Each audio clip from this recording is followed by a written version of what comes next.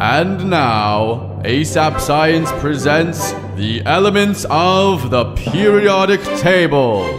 There's hydrogen and helium, then lithium, beryllium, boron, carbon everywhere, nitrogen all through the air, and oxygen so you can breathe, and fluorine for your pretty teeth, neon to light up the sign, sodium for salty times, magnesium, aluminium, silicon, phosphorus, and sulfur, chlorine, and argon,